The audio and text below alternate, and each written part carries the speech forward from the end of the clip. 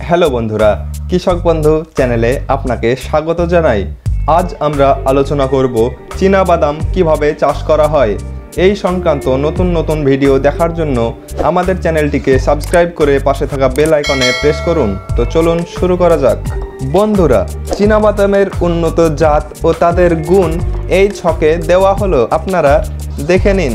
বাদাম চাষ করার জন্য উপযুক্ত জমি, জল নিষ্কাশনের সংযুক্ত বেলে ও দোআঁশ মাটিতে এই চাষটি ভালো হয়। বাদাম বছরে দুইবার চাষ করা যায়, যেমন প্রাক খারিফ, ফাল্গুন ও চৈত্র মাসে ও খারিফ, জ্যৈষ্ঠ ও আষাঢ় মাসে বোনা যায়। বীজের হার কীভাবে দিবেন? খোসা ছাড়ানো বাদাম, বিঘা প্রতি সাড়ে চার থেকে পাঁচ কেজি ও এমএইচ টু উন্নত যাত্রীর জন্য ছয় কেজি থেকে সাড়ে ছয় কেজি দিলে খুবই ভালো হয়। বীজ শোধন কীভাবে করবেন? বীজ শোধনের জন্য ক্যাপ্টান বা থাইরাম বীজের সঙ্গে ভালোভাবে মেশালেই বীজ শোধন হয়ে যাবে। উপযুক্ত বাদাম চাষের জন্য বেশ কয়েকবার লাঙল বা মই দিয়ে মাটি ঝুরঝুরে তৈরি করতে হবে। একই সঙ্গে সেই জমিতে আগাছা মুক্ত করে ফেলতে হবে। বাদামের মাটি ঝুরঝুরে রাখা অত্যন্ত প্রয়োজন। এবং সেইভাবে মাটি তৈরি করতে হবে। বিনা সেচে খারিফ চাষের জন্য জমি তৈরির সময় শেষ চাষের আগে বিঘা প্রতি এক কেজি নাইট্রোজেন, দেড় কেজি ফসফরাস ও আড়াই কেজি পটাশ সার ভালোভাবে মিশিয়ে দিতে হবে। এরপরে বীজ বপন কীভাবে করবেন?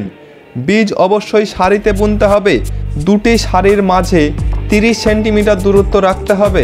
এম এইচ টু যাত্রীর জন্য এই দূরত্ব পনেরো সেমি করে দিলেও হবে। বাদাম গাছে ফুল ফোটার আগে যদি বৃষ্টি হয়ে মাটিতে চেপে যায়, তবে কোদাল বা নিড়ানির সাহায্যে মাটি আবার আলগা করে দিতে হবে। সেচ ব্যবস্থা কীভাবে করবেন? খারিফ খন্দে সাধারণত সেচের প্রয়োজন হয় না, তবে খরা হলে মাটির অবস্থা বুঝে সেচ দিতে হবে। প্রাক খারিফ মরশুমে ফসলে দুই থেকে চারটি সেচ দিতে হবে। এক্ষেত্রে প্রথমটি দিতে হবে বোনার পঁচিশ দিন পর এবং বাকি সেচ প্রয়োজন বোধ কুড়ি থেকে পঁচিশ দিন পর পর দিলেই হবে।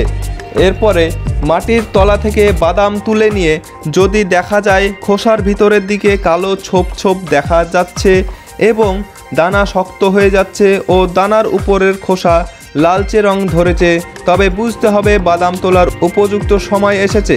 এছাড়াও, পাতার রং হলুদ হয়ে ঝরে পড়ে গেলে এই অবস্থায় ভালোভাবে না বুঝে বাদাম মাটি থেকে তুলে নিলে দানায় তেলের ভাগ কম হবে।